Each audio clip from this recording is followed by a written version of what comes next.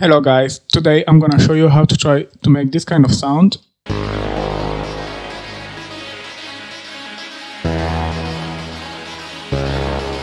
This kind of synth horn like this. Oh, sorry.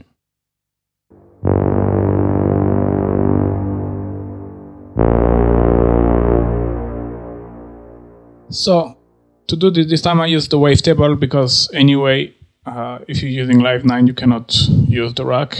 Uh, I've done the version with analog in case if you want to copy, I will show you later. So wavetable with uh, a saw waveform.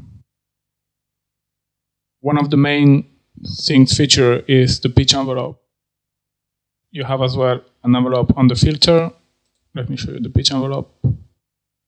The envelope for the filter and this amplitude envelope. You have as well uh, keyboard tracking, like this. The lower the filter, the lower the note, the lower the filter, the higher the note, the higher the frequency. Something like this. And I think that's it. So then after I put bright BrightKit just to add some harmonic to the to the sound. But when you have a low synth on, you need to have a bit more of harmonic, one frequency shifter to add some frequency modulation, and EQ with a high pass filter in case you want to remove some low frequency of your horn. The autopan is just a tremolo effect and some reverb.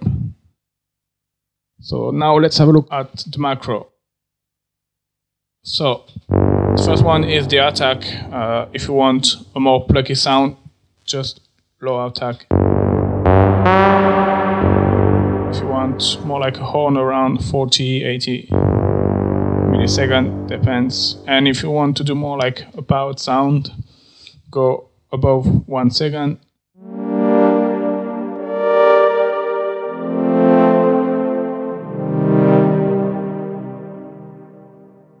Alright, so I know originally this rack is only synth horn, but you can even modify.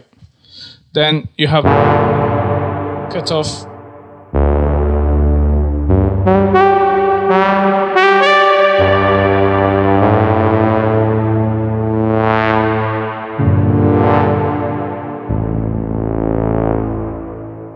Frequency modulation 1.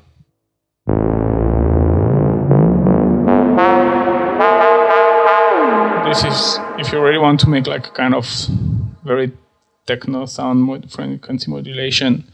Then you have the tremolo.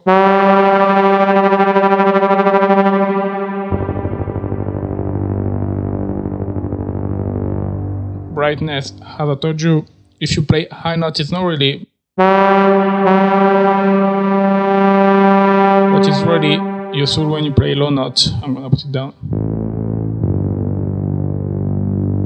Missing a little bit of brightness and if you just put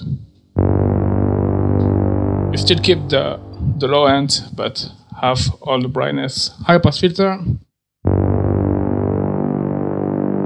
This especially if you use when you drop your sound uh, to evade conflict between the kick bass and your synth horn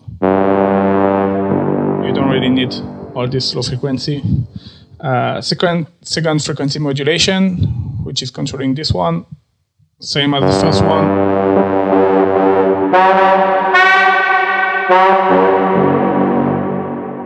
Just to give different tonality to your sound. Oh, sorry. And then finally a reverb, which is the main of the sound.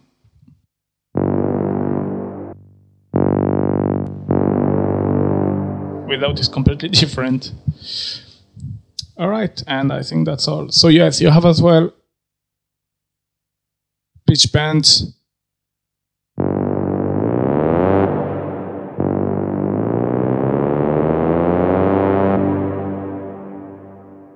I put as well on the mod wheel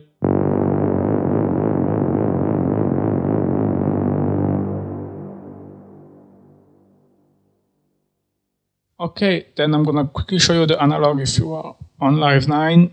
So same, so waveform, a little bit of pitch modulation. Uh, let me show you how it's sounding.